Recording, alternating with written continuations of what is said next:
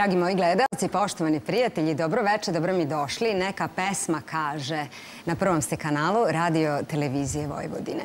I kada sam početkom ovog e, leta videla ovaj sladak, kratak spot kao uvod u potpuno uh, fenomenalnu, specijalnu priču, znala sam da ću ove četiri devojke dovesti u svoju emisiju već početkom sezone.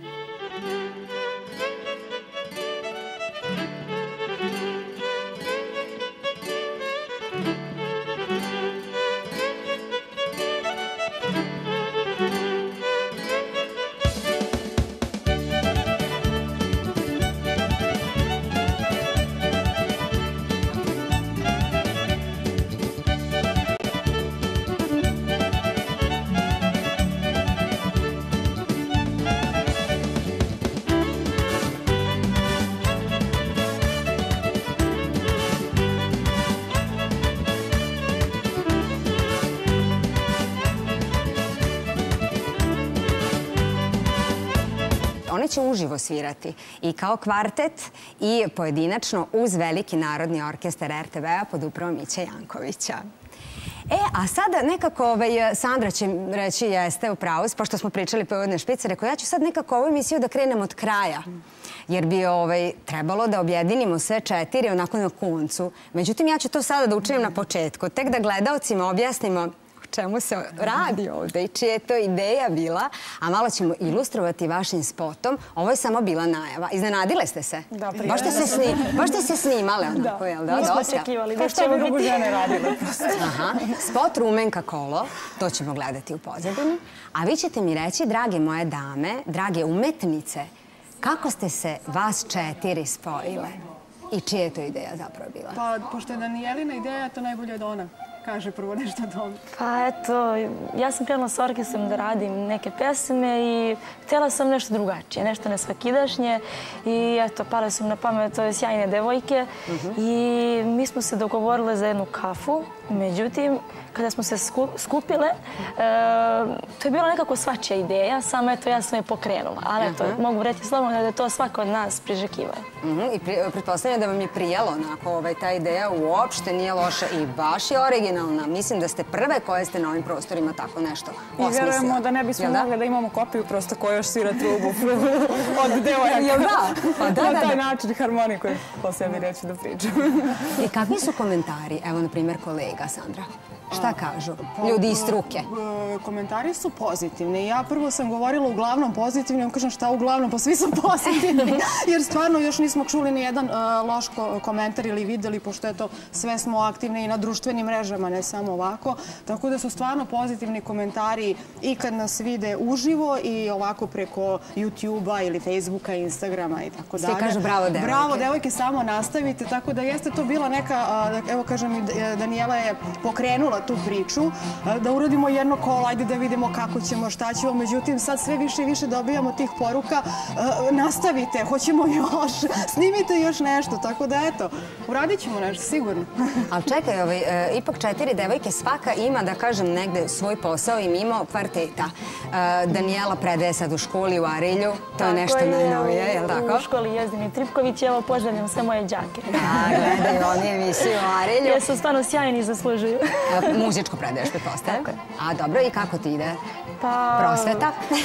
Zanimljivo, interesantno, nešto novo, da kažem sada zvanično i ozbiljno, tako da interesantno za početak.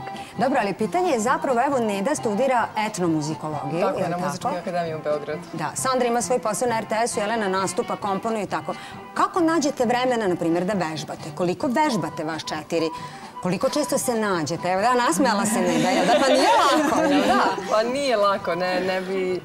Ne bismo da otkrivamo onako precizno te neke vremenske odrednice, ali zaista mi se stvarno trudimo. Mislim, jeste kada kažete sad da smo mi manje više dosta u Beogradu, mhm. ali desi se kad je Danijela u Arilju, ja sam u Kovinu, uh, Sandra u Jelena u Boleću, ja- Da, stvarno. I onda Možemo preko Skype-a samo. Da, mislim, tolike kilometre prevaliti, ali to je sve zaista onako...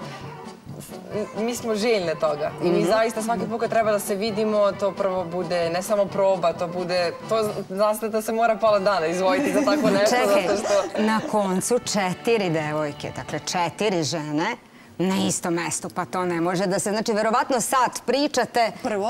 ovaj, uz kafu, a sad se eventualno vežba, jel da? Ne, ne, uvek je veš. Uvek je vežba, šalim se ja malo, naravno. Ovaj, ajde za početak, evo, ja predlažem da čujemo jedan svilen konac.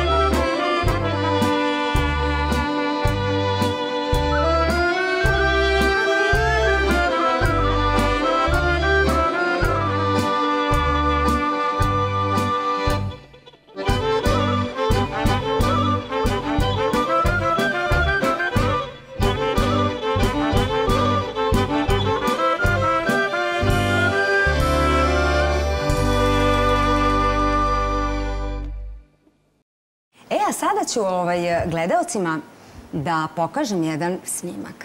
Vrlo je simpatičan. Tu je e, draga Neda Nikolić, koja sada ima 20, je li tako, Nedo? Tako je. Tada je imala, evo, ako je to bilo 2013. pa računajte. 15. 15. bila je Devojčurak. Ovo je koncert bio u Kolarcu mladih instrumentalista, divnih, talentovanih ljudi i tu ne da svira. Vidite kako je slatko.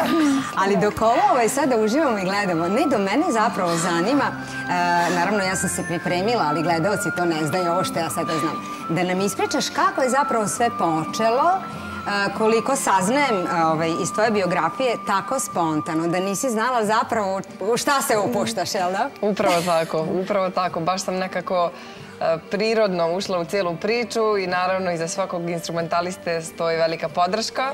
E, iza mene stoji jedan veliki čovek, to je moj tata i on je sve započeo. Naravno stoji još mnogo ljudi, ali on je zaslužan za sve ovo i on je bio taj koji je na početku najviše i podržavao i gurao cijelu priču u smislu da on je svirao harmoniku. Tako je. Da, on je kao mlad svirao harmoniku, inače izuzetan talent e, u pevačkom smislu, ali on sve voli za svoju dušu i dan danas uživamo da onako sednemo, jedan duet odsviramo, određeni repertoar kola i pesama i tako je sve počelo. Posle, e, posle sam krenula u muzičku školu, niža muzička, srednja muzička, drugi instrument, evo sad smo na fakultetu, tako da sve ide tim tokom.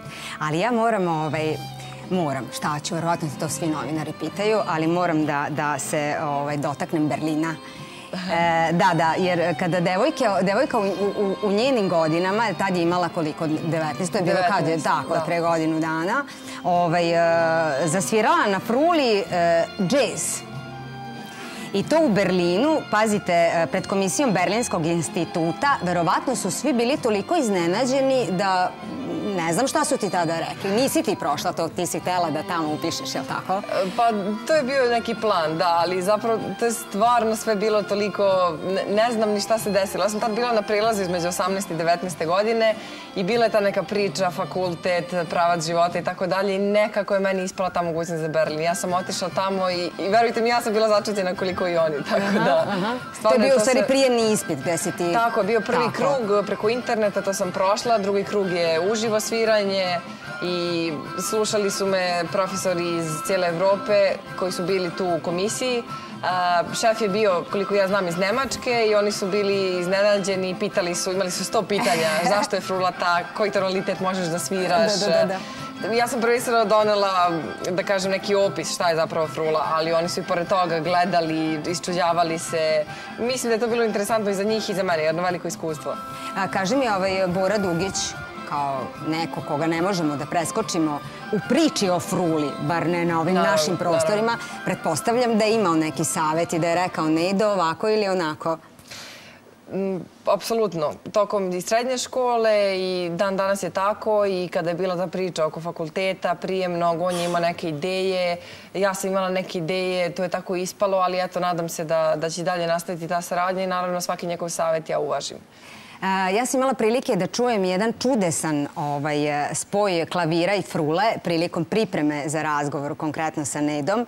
Pazite, klavir i frula, a svira se etno-džez klasika. Mislim, ovaj, potpuno nestvarne stvari ne da svira e, i žanrove i samo ćeš mi reći, ti ovdje imaš tri frule. Tako ja sam, je. Da, da će i gledalci videti. I ona se je pitala, ti to sve tri, ovaj, vidim ja ona zadene za pojas, pa sad kad ste bio svirali, zadene za pojas, pa tako minja. Tako je najpraktičnije, da. I uvek nosiš tako tri više, koliko frula e, imaš? Zavisi. U principu, u ovoj našo, u našem sastavu zbog tonaliteta sad su mi neophodne tri.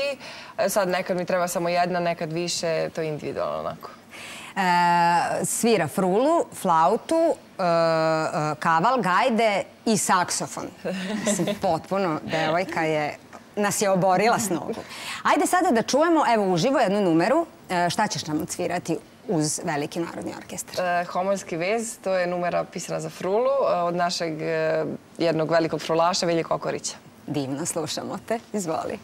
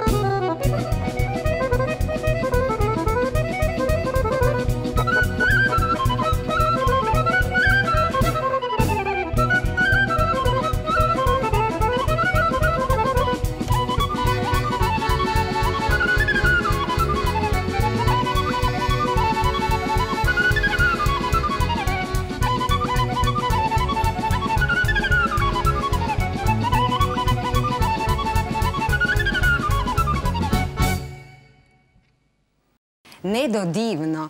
Divno, ovaj, sad razmišljam žene i frula. Jako je malo devojaka koje ovaj, poput tebe sviraju frulu. Sada smo videli ovaj insert sa kolarca, sve sami muškarci. Ovaj, jeste, jeste. Mada ovaj, ima podataka da su i, i žene frulaši i pobeđivale na nekim saborima. Naravno, naravno, upravo tako. Ja sam čak i na fakultetu ovaj, došla do nekih podataka i samo na takmičenjima i pre ranije kad nije bilo takmičenja, bilo je žena koje su svirale. Naravno, nije to samo sa frulom. Generalno, uvek je manje žena koje sviraju tradicionalni instrumente. Ne pričamo o trubi. Da, naravno, naravno, i druge instrumente, da. Mhm. Ali ima, ima sad dosta nekih radionica i škola frule i zaista ima dosta mladih devojaka i devojčica i nadam se da ćemo kroz par godina imati sjajne frulašice. Ja se radujem tome i treba da negujemo svi zajedno tradiciju, naročito mladi ljudi i da što više devojaka i žena sviraju tako divan instrument kao što je frula. A naša srpska Vanessa May prozvala je ja Pa stvarno te upoređuju, ne znam da li si znala. Da, jesam, naravno. Pa nego, ona je čuvena, čuvena stvarno. I čest, jel da? Da, da, čest. Evo ovaj, e, potpuno jedan moderni klip. Pazite, sad smo gledali ovom kvartetu, tako fino, ona svira violinu, a sada gledamo uh, My Sky ili Moje nebo, gde sviraš nešto potpuno drugačije. Jeste, da. Jelena, kako si ti počela da se družiš sa, sa tvojom violinom? Kao i u slučaju Nede i u mom slučaju je krivac bio moj otac, naravno. Očevi su krivci. Da, očevi su za sve nas krivci. Pa jel vidiš, da, da. Jeste, i to je ono što nam je zajedničko, pored toga što smo instrumentalistkinje. Moj otac se muzikom bavio iz e, hobija više. Imao je svoj, e, odnosno on je mašinski inženjer po struci i voleo je prosto muziku. Cijel život mu je bila neostvarena želja da se bavi ozbiljnije i profesionalnije time i onda se e, rodim ja i on kaže ja, šteta devojčica, ko će mene sad da nasledi, kao zašto nije sin? I umeđu vremenu se rodi sin posle godinu i po dana, međutim kako je vreme prolazilo, on je apsolutno bio nezainteresovan za violinu, malo se poigrao sa njom, ostavio je sa strane, dok sam ja, meni je to postala omiljena igračka od svoje šeste, sedme godine i od tada neprestano se družim sa violinom. Od tada se ne razdvajate. Ovaj, ono što je zanimljivo je da čućete i kako svira, već ste imali prilike da je čujete, ovaj, e, ti nisi završila muzičku školu, nego učiteljsku. Ti si učiteljica tako je. Da li si radila kao učiteljica? Radila sam e, jedno kratko vrijeme, bila sam na zamenama tu u okolini Ljiga mog mesta i naravno to je bilo jedno divno iskustvo. Rad sa decom je nešto E, fenomenalno, potpuno drugačije od muzike i rade sa odraslim ljudima u tom smislu, na muzičkoj sceni i tako dalje. To može i Daniela da vam kaže, jer ona sada ima iskustva u tom segmentu. I zaista je divno, ali prosto ja sada u potpunosti želim da se posvetim muzici, jer postoji toliko oblasti u okviru muzike koje me zanimaju. Želim da imam svo slobodno vrijeme da se posvetim e, raznoraznim delatnostima u okviru širokog muzičkog polja koje me zanimaju. Tako da u skladu sa tim sam odlučila da to bude moje jedino zanimanje sada, da bih to radila onako kako želim i da bih imala vremena sebe da dam u potpunosti svoje muzici i svom suprugu.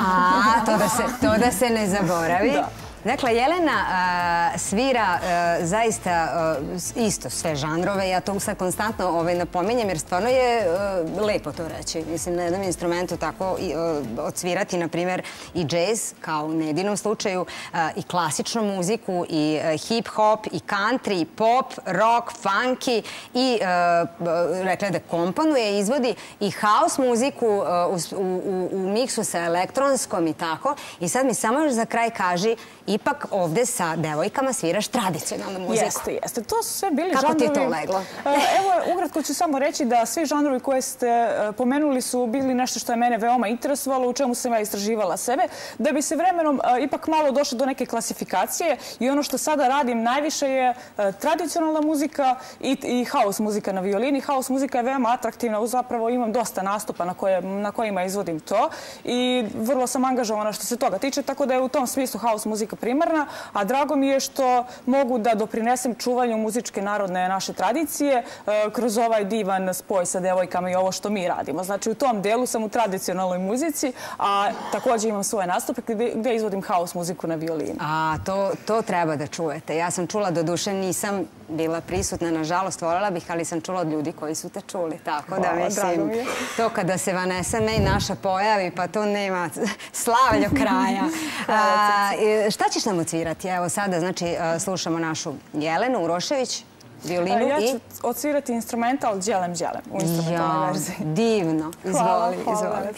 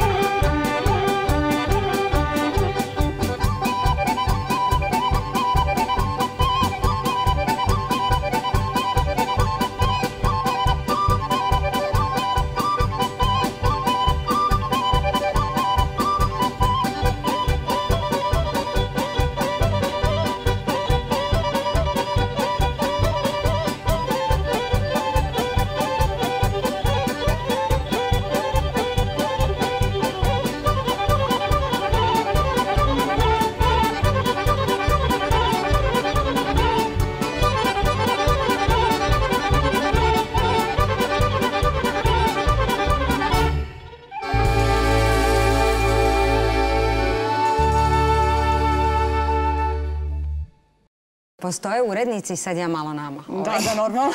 Poput Sandre i mene i brojnih divnih kolega koji ovaj, rade na tome da tradicionalna muzika živi, da oživimo neke stare, zaboravljene i kompozicije i pesme, zašto ne reći.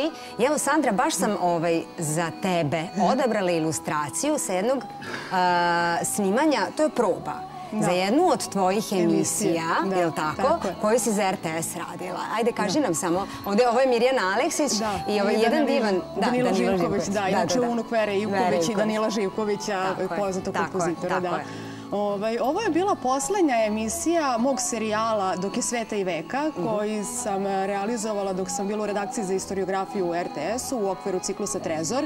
E, I e, ceo taj serijal je u stvari bio posvećen našim legendama narodne muzike, onim e, koji su bili u Radio Beogradu i pevači, i muzičari, i orkestri i tako dalje. Međutim, za tu neku, da kažem, poslednju emisiju tog serijala prosto sam želela da mi budu mladi, jer na mlađima svet ostaje. Tako je, apsolutno si upravo. I, ovaj, I pozvala sam divne mlade mlade ljude. Ovdje su sad e, Mira i ovaj, Danilo, ali bilo je tu i drugih e, mladih pevača, izvođača. E, I Neda je bila u toj emisiji kao ovaj, solistkinja. Tako da ovaj, to je bilo jedno, meni je bilo stvarno divno dok sam radila, dok sam snimala. Prosto smo uživali. Proletilo nam je vreme. Ne znam, mi smo nešto 5-6 sati bili tamo dok probamo, dok se to snimi, ali to je ovako. Ma divno, ja sam to pratila i svaka čast da nastaviš ovaj, da kažem, tu misiju ali moram i tebe da, da, nego šta, nego šta ćemo ove. Nego šta ćemo. Nego, ovaj, moram Sandra, sada e, spomenula je Jelena tatu. E, ne, da. A onda je Sandra rekla, pa evo i ja, sve su negde tate krive. Pa otkud harmonika u tvom lepom životu? Pa- Inače, to upoređuju sa Radojkom Živković, mislim, koja je prosto negdje legenda. Da, da, naravno. Žena legenda. Žena legenda, žena koja... Ja sad ne smijem da kažem da je ona bila prva, možda koja je svirala kod nas, ali svakako prva poznata i profesionalna. Tako je. I žena koja je ostavila jedan božanstven trag, veliki trag sa božanstvenim kolima i e, instrumentalima i to njeno sviranje je onako slatko. To prosto samo pa nije mala stvar da te upoređuju. Naravno, meni je stvarno velika čast, no da ja uvek govorim da nekako ja se trudim da to... Ja ipak sviram i klavirnu harmoniku, ona je svirala dugmetaru, da to je malo i drugačiji stil, ali emocija ženska je ista. Nego šta je. I još Radojka i Vanessa u kombinacije. Da, Radojka i Vanessa, to je svoj. I tata je uticao na harmoniku. Pa nije uticao, bukvalno, ovaj, tata je kupio harmoniku i igrašku da se dete igra. Mislim, i na kraju pameti nije bilo da ću ja stvarno svirati kasnije. Ali ipak je tata kupio. Ipak je tata kriv. I onda sam ja opet, kažem, ja sam bila mala, imala sam 3-4 godine i onda su mi roditelji pričali da sam se ja sve više i više igrala sa tom igračkom, a lutkice zapostavljala. I ovaj, kasnije sam, ne znam, tetke dobila malo veću harmoniku i tako dalje, ali u stvari ono što, što je možda specifično malo za mene, pored toga što sam žensko koje svira harmoniku, ja sam vrlo kasno počela da se da ukšim u stvari na pravi način kako se svira harmonika. Jer žensko dete neće, ko će to da svira, neće tamo vamo i mhm. onda je krenulo tek nekde oko 14. 15. godine, tako da je bilo dosta kasno. Nisi išla u muzičku školu? Nisam išla u muzičku školu, prvo iz razloga što je žensko dete, a drugo je ono što smo malo pre pričali, kod nas ne postoji odsek za narodnu muziku i onda me prosto nije ni privlačilo. Da. Sandra, ja isto ovaj, moram sa tobom, s obzirom da urednički posao nam je negde sličan, i da te pitam, da li e, smo mi narod, kakav je tvoj utisak? Kakav feedback imaš od publike koji zapravo malo zna o svojoj tradiciji? Ono što je meni bilo zanimljivo je, ove, čitala sam neki od tvojih intervjua, pa onda Sandra rekla, kaže, verovali ili ne, samo se jedna devojčica u jednoj školi gde sam bila javila kada sam pitala koju izvornu pesmu najviše vole, a devojčica se javila i pitala, a šta je to izvorna pesma? To je tačno. Mislim, ali to je meni tužno. Da, to je tužno, pa naravno da je tužno. To je tačno. Ove, bili smo u jednoj školi, u ove, osnovnoj školi, i prosto sam htjela malo da vidim šta slušaju Ovaj, te neke generacije mlađe. Znači, istinita je priča. Mhm. Istinita, da, da, da. Ovaj, I onda sam pitala, dobro, kažite mi koji volite, onda se svi čute, svi me gledaju. Kažem, šta vam je, deco? Onda sad jedna se jako super, jedna zna. Ali ovaj, bilo je pitanje, u stvari, šta je to izvorna muzika. Ali zato smo mi tu. Da. Zato smo mi tu, naravno, da smo mi tu i uvek ćemo se truditi i vi i ja i mnogi naše kolege, naravno, da ovaj, sakšuvamo tu našu tradiciju, a tu su i ovi mladi izvođači, sad govorimo o njima kao gostima, ne kao koleginicama, koji pomožu svemu tome. Na sreću. Harmonika te čeka I samo ću da te pitam, e, na štiklama si, je li tako? Na štiklama. Na štiklama. Harmonika ima koliko kilograma? 12. 12 kilograma. Kaže Sandra, ženski model. Mićo, koliko tvoja harmonika ima? Jedno kilogram, dva više. Dobro, pa tu je negde. Da. Kako izdržavaš? Kako ti to? Još stoji? Znači ne sedi, nego stoji. Da, da, to je ovaj, m, onako zanimljivo. Ja volim da stojim dok e, sviram, kad nastupam, Dobro, naravno, ne pričam o vežbanju. Ove, nekako tu imam emociju i neki, e, neku interakciju, da kažem, sa publikom dok stojim, je pa potpuno drugačije. Kod klasičara je drugačije. Oni mogu da sede, da sviraju i da tu Ja- se nekako užive, što kaže se ovaj, u tome, ali eto, ja volim da stojim. E, Jeste malo problem kad sam na štiklama, ali valjda sam navikla, ne znam. Sad ćemo da vidimo, dakle, Sandro Milošević na štiklama i sa harmonikom. Šta slušamo, samo nam kaže? E, Kolo biserka. Biser kako.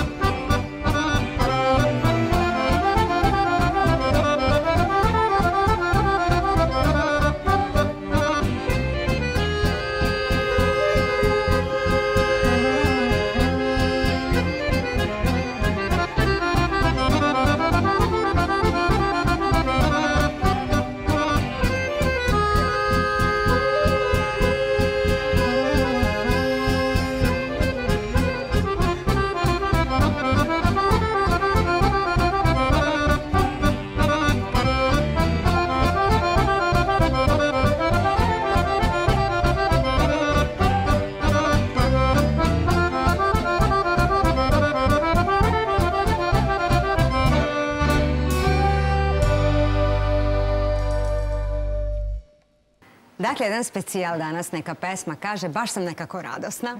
Ovaj, I instrument, instrumentalna, da kažem, emisija. E, mi možemo da pevušimo iz, ali to se ne čuje. E, isključivo posvećena instrumentima i to divnim.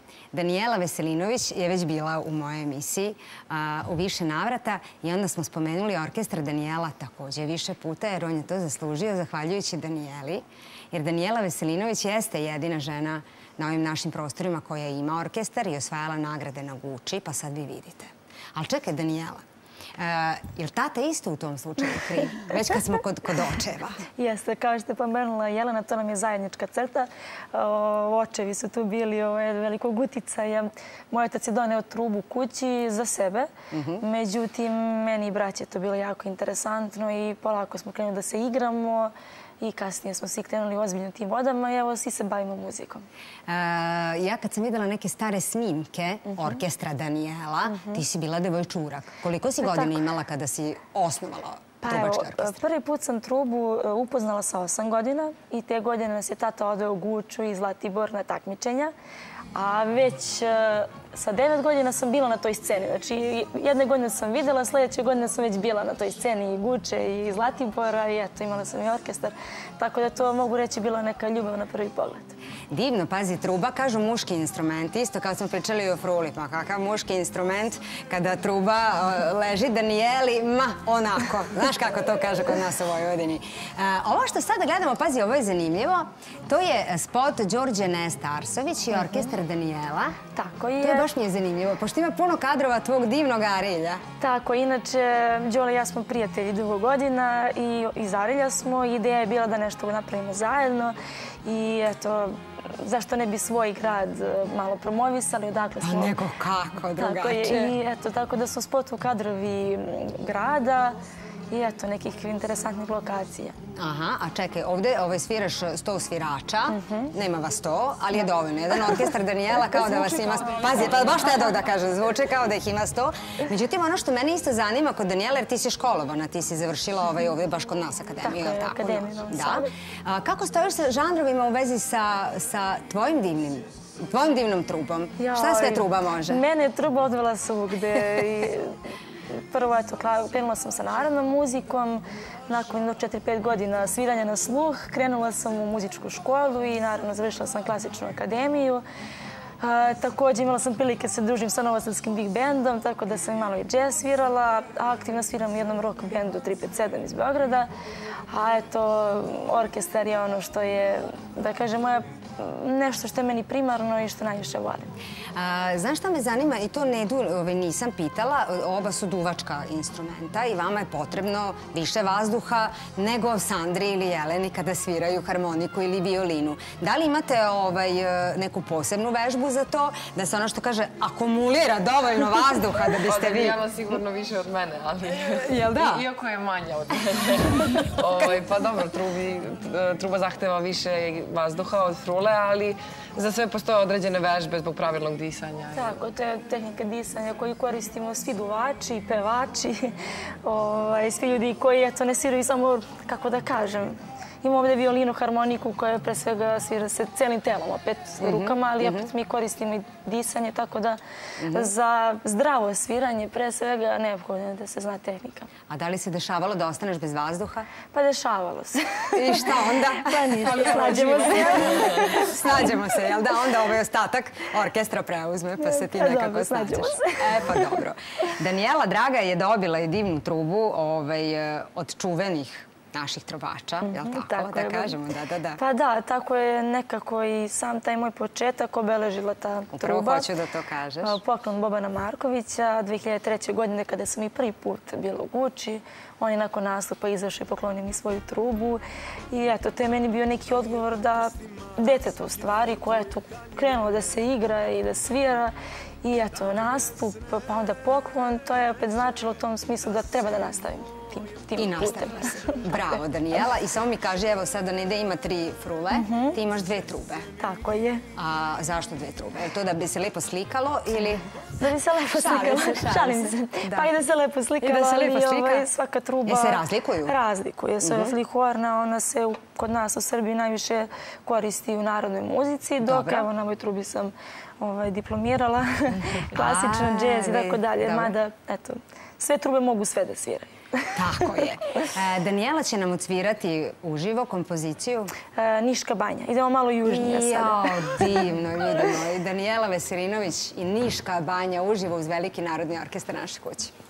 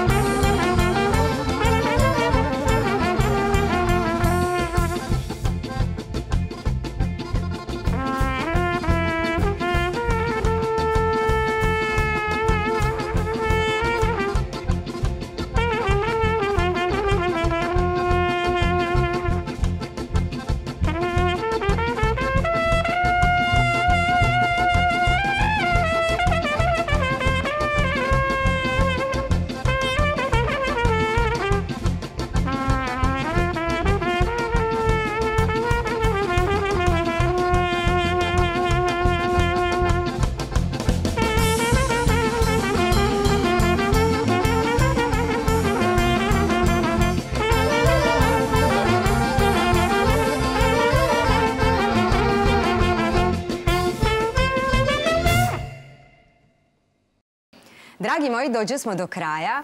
Drage devojke, zajedno napravi smo lep e, specijal, rekla bih. Ovo je baš bila posebna emisija. Posvetili smo je instrumentima divnim, e, harmonici, fruli, trubi i violini. Hvala što ste došle. Hvala vam, bilo nam je zadovoljstvo, proletalo nam je vreme, zaista. Pa to jeste moj cilj, znaš kako kažemo. Uspeli ste. Ako je i gledalcima, onda smo postigli cilj. Dakle, devojke, hvala vam da i dalje napredujete, da i dalje radite na sebi, što kaže ovaj, i mlade ste i ima još da se uči i uvek ima da se uči. Ceo život se uči. Ceo život, je li tako? I za kraj ću ovaj, samo opet jedan onako žal da e, Žao mi je što mi se čini da, da stranci, a sve ste nastupale u inostranstvu, a ne samo u Srbiji, čini se nekad više poštuju našu tradicionalnu muziku nego mi sami. Jel da? Ne čini se, to je tako. Kakav vi utisak imate kad svirate u inostranstvu? To je Pa prosto željni su verovatno toga. Osjećaju tu nostalgiju za kućnim pragom, za zavičajem, za našom zemljom. I nešto, uvijek je to tako jednostavno u životu. Kada nam je nešto nedostižno, nažalost, uvijek nam se izgleda nam i čini nam se lepšim nego što ono što imamo. A nama se to negde podrazumeva. psihologija tako funkcioniše. To jeste i što Jeca kaže za naše ljude koji su u inostranstvu, ali ja prosto imam to neko iskustvo, jer sam dosta putovala i sa folklorom i obišla ono što se kaže pola sveta, ovaj, da su stranci, pravi stranci, ovaj, više zainteresovani za našu muziku. Upravo tako. Upravo tako. Gde god da sam bila, gde god da sam bila, da li sa folklorom, da li sama, smo izvodili našu muziku, ovaj, uvek su prilazili i pitali da li imamo neke materijal. Sad, da li je to, ako su muzičari traže note, a ako nisu muzičari traže diskove ili već šta je, jer su oduševljeni našim ritmovima i našim melosom. Evo apel ovaj, našim ljudima koji žive ovde, a ne u inostranstvu, da više negujemo, cenimo, poštujemo i čujemo ono što je tradicija, jer bez nje ne znam kuda plovi ovaj brod. Hvala Danijela, Nedo, Sandra, Jelena. Hvala Velikom narodnom orkestru naše kuće pod upravom Miće Jankovića. I poštovani gledalci, hvala vama na pažnji. I veliko hvala, kao i uvek ekipi koja je ovu emisiju realizovala. Šta bi ja bez njih? Reprizni termin sreda 12. Gledajte nas na YouTube kanalu Neka pesma kaže na odloženom gledanju RTV-a i premijerni termin utorak 21 sat. Za kraj, naravno, čućemo devojke ponovo. Želim vam svako dobro.